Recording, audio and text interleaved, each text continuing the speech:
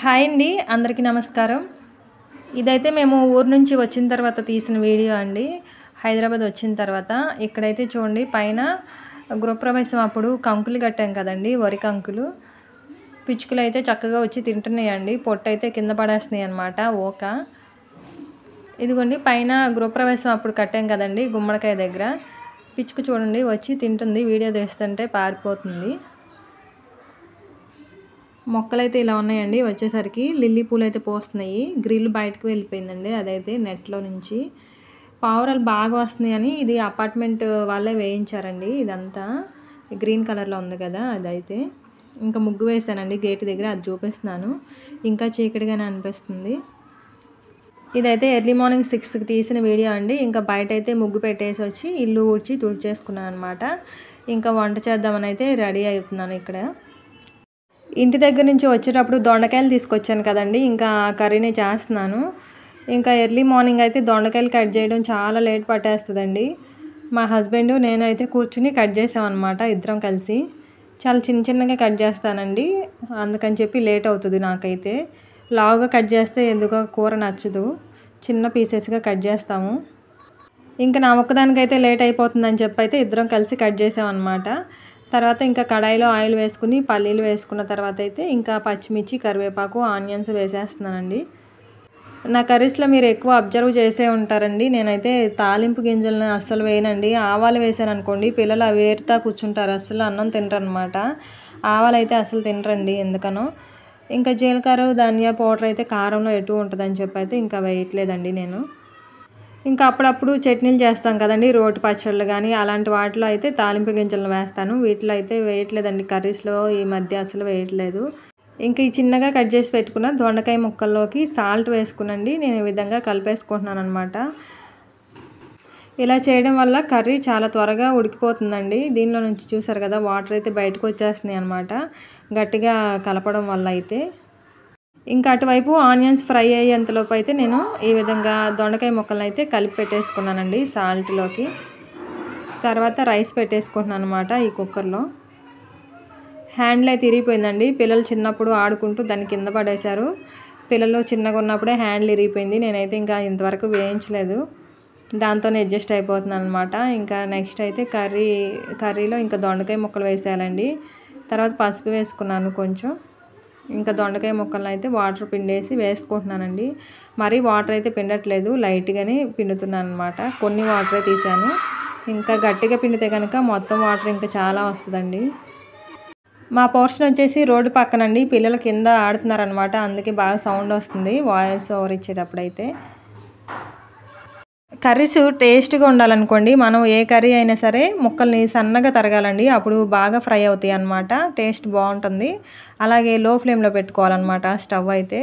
నేనైతే దొండకాయ కర్రీ చాలా టైం పడుతుందండి. అయినా సరే లో ఫ్లేమ్లో పెట్టుకుని వండుకుంటాను అనమాట ఎంత టైం పట్టినా సరే. ఇంక తర్వాత నేను కొంచెం సాల్ట్ వేస్తానండి. ఇందులో అంతే ఇంకేమీ యాడ్ చేయను.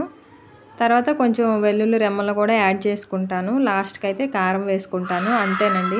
గిన్నెలు అయితే ఇంకా నైటే కడిగి పెట్టేసుకున్నానండి. గిన్నెలు అయితే ఏమీ లేవు. ప్రతిరోజు కూడా నేను నైటే కడిగి పెట్టేసుకుంటాను అనమాట పొద్దున్నే లేచి అయితే మా వారికి వంట చేయాలి కదండి. అందుకని చెప్పి పొద్దున్నే అయితే చిరాగ్గా ఉంటుంది. అలాగే కాక్రోచ్లు ఏమైనా పాకుతాయి అని చెప్పి అయితే ఇంక నైటే అలవాటు అండి ఫస్ట్ నుంచి కూడా. ఇంకెప్పుడన్నా హెల్త్ బాగాలేనప్పుడు కానీ నీరసంగా అనిపించినప్పుడు అయితే ఇంకా నైట్ అయితే కడగనండి. ఎర్లీ మార్నింగే కడుగుతాను అనమాట ఇంక ఇక్కడైతే గిన్నెలు తీసి సర్దేసుకుంటున్నాను. ఎక్కడవి అక్కడ?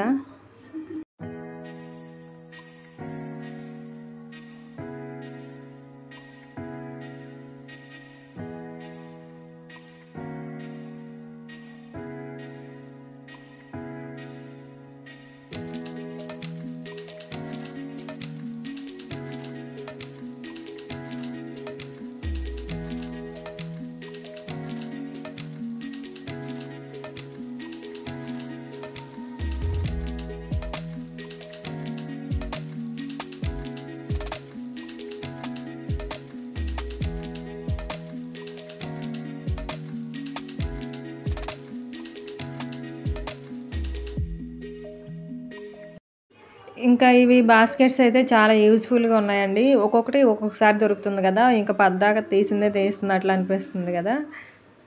ఒకదాని తర్వాత ఏది కనిపిస్తే అది ఆ ర్యాక్ అయితే లాగేసి పెడుతున్నాను అనమాట బౌల్స్ అవన్నీ. ఇంకా డైలీ మనం యూజ్ చేసుకునేవన్నీ వీటిలోకి వెళ్ళిపోతున్నాయండి. చాలా బాగున్నాయి అనమాట ఇంక ఇది ఊరి నుంచి వచ్చిన తర్వాత కదండి నేనైతే పప్పులు ఎలాంటివి నానబెట్టలేదు అనమాట ఇంకా ఉప్మా చేయాలండి. ఇప్పుడైతే ఇంకా మా హస్బెండ్ ఆఫీస్కి వెళ్ళాలి కదా రైస్ అయితే అవుతుంది. ఇంకా పక్కన అయితే కర్రీ అవుతుంది కదా. ఈ కర్రీ అయ్యేలోపు అయితే పక్కన ఇంకా నాకు టిఫిన్ అవన్నీ అయిపోతాయండి. ఎందుకంటే నేను లో ఫ్లేమ్లో పెట్టుకుని చేసుకుంటాను కదా. ఇంకా ఒక స్టవ్ అయితే కర్రీకే సరిపోతుంది అనమాట ఇంకేది చేసినా పక్కన స్టవ్ మీద చేసుకోవాలి. ఇంకా నేను ఇక్కడ గోధుమ రవ్వ ఉప్మా చేసుకుందాం అని చెప్పి అయితే ఇంకా కట్ చేసి పెట్టుకుంటున్నానండి. ఆనియన్స్ పచ్చిమిర్చి అయితే కట్ చేయడం అయితే అయిపోయింది ఇంకా. చాపింగ్ బోర్డ్ని కూడా క్లీన్ చేసుకుని పైన పెట్టుకున్నాను. ఇంకా నేనైతే వంట చేసుకుంటూనే ఏమన్నా తీసినప్పుడు వంటకు సంబంధించినవి ఎప్పుడప్పుడే పైన పెట్టేసుకుంటానండి వెయిట్ ప్లేస్లో అవి. ఇంకా తర్వాత మళ్ళీ ప్రత్యేకంగా వాటిని పెట్టాల్సిన అవసరం అయితే ఉండదన్నమాట. ఇలా చేయడం వల్ల అయితే స్టవ్ చుట్టూ గజిబిజిగా ఏమీ ఉండదండి నీట్గా ఉంటుందన్నమాట. జిడ్డు కూడా పట్టేయకుండా ఉంటుంది. డబ్బాలకి వంట చేసేటప్పుడు మనం ఏదన్నా వంటకి సంబంధించిన డబ్బాలను పెట్టామనుకోండి చుట్టుపక్కల జిడ్డు పట్టేస్తూ ఉంటుంది కదా అలా పట్టకుండా ఉంటుందండి. ఇంకా మధ్య మధ్యలో మాడిపోకుండా కలుపుకుంటున్నాను. ఆ గిన్నెలో అయితే రైస్ కడిగి నీళ్ళు పోసానండి. మొక్కలకు పోయాలి అవైతే. ఇంక ఇక్కడైతే రైస్ అయిపోయిందండి. ఇప్పుడైతే నేను ఉప్మా కోసం ఒక గిన్నె పెట్టుకుంటున్నానండి. స్టవ్ పైన ఆయిల్ వేసుకుని. ఉప్మాలో కానీ మేము ఫ్రై కర్రీస్లో కానీ ఎక్కువ పల్లీలు యూజ్ చేస్తామండి. పల్లీలు లేకపోతే పిల్లలు సరిగ్గా తినరు అని చెప్పి అయితే వేస్తాను. మా హస్బెండ్కి కూడా పల్లీలు వేస్తేనే తింటారండి. అందుకని చెప్పి పల్లీలు ఎక్కువ యూజ్ చేస్తూ ఉంటాము. ఇంకా దీనిలో అయితే నేను జీలకర్ర వేయనండి. ఉప్మాలో అయితే జీలకర్ర వేస్తే ఎందుకనో ఆ ఫ్లేవర్ నాకు నచ్చదనమాట. పిల్లలు కూడా సరిగ్గా తినరు అని చెప్పి అయితే వేయను. ఇంకా పచ్చిశనగపప్పు ఒక్కటే వేసాను ఇక్కడ. గోధుమ ఉప్మాలో అయితే మనం ఆయిల్తో పాటు ఒక స్పూను నెయ్యి వేసుకున్నాం అనుకోండి టేస్ట్ చాలా బాగుంటుంది. నేనైతే ఒక స్పూను నెయ్యి కూడా వేసానండి ఇంకా తర్వాత పచ్చిమిర్చి కరివేపాకు వేసుకుంటున్నాను. ఇవి కొంచెం ఫ్రై అయిన తర్వాత ఆనియన్స్ వేసుకుని ఫ్రై చేసుకుంటానండి. మా చిన్నప్పటి నుంచి కూడా ఇలానే అలవాటు అండి టమాటాలు అవేమి వేసుకో అనమాట వేసినా కానీ ఎందుకనో చిన్నప్పటి నుంచి ఇలాగే అలవాటైపోయి నచ్చదండి అలాగూ నాకైతే. ఇంకా ఇలానే చేస్తానన్నమాట ప్రతిసారి కూడా. ఇంకా ఆనియన్స్ వేసేసాను ఇప్పుడైతే. నార్మల్ రవ్వ ఉంటుంది కదండి ఉప్మా రవ్వ. సేమ్ దాంతో కూడా ఇలానే చేస్తాను. ఇంకా ఆనియన్స్ అయితే సగం పైనే మగ్గిపోయిన తర్వాత దీనిలోకి వాటర్ అయితే యాడ్ చేస్తున్నానండి. రెండు గ్లాసులు వాటర్ యాడ్ చేసుకున్నాను ఇక్కడ. మనకి నార్మల్ ఉప్మా రవ్వకైతే తక్కువ వాటర్ పడతాయండి. గోధుమ రవ్వకైతే ఎక్కువ పడతాయి అనమాట నేను ఇక్కడ రెండు గ్లాసులు వాటర్ తీసుకున్నాను కదండి. అంటే నేను ముప్పావు గ్లాస్ వరకు అయితే రవ్వ తీసుకుంటాను. సుమారుగా వేస్తానండి. ఇంక ఇక్కడైతే సాల్ట్ కూడా యాడ్ చేసుకున్నాను. ఇంక ఇదంతా సాల్ట్ ఇవన్నీ కలిసేలాగా కలిపేసుకుని వాటర్ అయితే బాయిల్ అయ్యేంత వరకు బాయిల్ చేసుకుని తర్వాత అయితే రవ్వ యాడ్ చేస్తానండి. సుమారుగానే యాడ్ చేస్తున్నాను నేనైతే. ఇంకా అటు సైడ్ అయితే కర్రీ అవుతుంది కదండి. లో ఫ్లేమ్లో పెట్టాను కదండి. కొంచెం టైమే పడుతుంది. ఇంకా దానిలో అయితే వెల్లుల్లి రెమ్మలను కూడా వేసేసుకుని కలుపుకుంటున్నానండి. ఇదైతే చాలా బాగుంటుందండి ఫ్లేవర్. ముందు ఆయిల్లో వేసుకునే కన్నా ఇలాగా లాస్ట్లో మనం వెల్లుల్లి రెమ్మల్లో దంచి వేసుకున్నాం అనుకోండి బాగుంటుంది అనమాట స్మెల్ అయితే. ఇంక ఇక్కడ నేను సుమారుగా వేసుకుంటున్నానండి రవ్వ అయితే.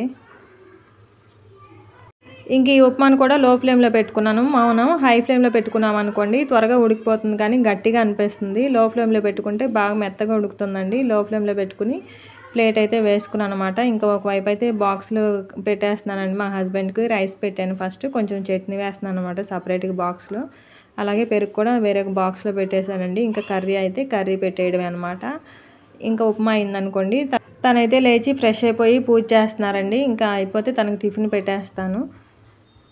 ఇదిగోండి చక్కగా ఉడికిపోయింది. ఉప్మా అయితే స్టవ్ ఆఫ్ చేసేసాను ఇక్కడ. ఉప్మా అయితే మేమందరం షుగర్తోనే తినేస్తామండి. ఇంకా ప్రత్యేకంగా వీటి కోసం చట్నీలు అవేమీ చేయాల్సిన అవసరం అయితే లేదు. మాకు కానీ మా హస్బెండ్కి కానీ అలవాటు లేదండి చట్నీ వేసుకోవడం. చిన్నప్పటి నుంచి కూడా షుగర్ తోటే తింటామన్నమాట. ఇంకా మా పిల్లలు కూడా షుగర్ తోటే తినేస్తారు. ఇంకా తనకైతే వేసి ఇచ్చేసానండి ఉప్మా అయితే. ఇంకా కర్రీ కూడా అయిపోయింది ఇక్కడ. కారం వేసేయడమే దీనిలోకి. మా కారాన్ని సంబార్ కారం అంటారండి మా సైడ్ అయితే. దీనిలోనే ఇంకా జీలకర్ర పౌడర్ ధనియా పౌడర్ అన్నీ ఉంటాయి అన్నమాట ఇంకా ప్రత్యేకంగా మేమైతే జీలకర్ర ధనియా పౌడర్లు అయితే వేయము. కారం కూడా వేసిన తర్వాత లాస్ట్కి ఒక్క నిమిషం పాటు ఫ్రై చేసుకుంటానండి. ఎందుకంటే కర్రీకి మొత్తం మంచిగా పడుతుందని చెప్పి అయితే ఇంకా ఈ కర్రీ కూడా అయిపోయిందండి. బాక్స్ అయితే పెట్టేశాను మా హస్బెండ్కి. ఇంకా చేసినవన్నీ ఒక పక్క పెట్టేస్తున్నానండి. రైస్ ఇంకా ఉప్మా ఇంకా కర్రీ అయితే ఒకవైపు పెట్టేసుకుంటున్నాను స్టవ్ పక్కకి. ఇంకా అటు సైడ్ గ్యాస్ గట్ అయితే క్లీన్ చేసేసి ఇంకా మార్నింగే నాకు వంట పని టిఫిన్ పని అయితే అయిపోతుంది ఇంక మా వారైతే బాక్స్లు అయితే బ్యాగ్లో పెట్టేసుకుంటున్నారు. ఇంకా తనకి బాయ్ చెప్పి రావాలండి. ఇంకా స్టవ్ అయితే క్లీన్ చేసేసుకుంటున్నాను అనమాట వెంటనే అయితే పోతుందండి జిడ్డు అదేమన్నా ఉన్నా కానీ. నైట్ క్లీన్ చేస్తానండి. అయినా ఇంకా ఒకసారి అయితే తాలింపు అవి ఆయిల్ మరకలు అవి పడుతుంటాయి కదండి అందుకని అవి అయితే తుడుచుకుంటున్నాను అనమాట ఒకసారి. ఇంకా తను వెళ్ళిన తర్వాత పిల్లలు నేను కలిసి అయితే టిఫిన్ తినేసామండి. ఇంకా తర్వాత పిల్లలు అయితే కోడి పిల్లలను తీసుకొచ్చారు కదండి. ఇంకా వాటితోటే ఆడుతున్నారనమాట ఒకటైతే కిందకి జంప్ చేస్తుందండి అప్పుడే టబ్లో నుంచి అయితే కిందకి జంప్ చేసింది. ఇంకొక దానికైతే జంప్ చేయడం రావట్లేదు అందుకని ఎక్కడుందని దానికోసం వెతుకుతుంది అనమాట ఇదండి ఇవాళ వీడియో ఎలా అనిపించిందో కామెంట్ చేయండి సబ్స్క్రైబ్ చేయండి లైక్ చేయండి షేర్ చేయండి. Thank you for watching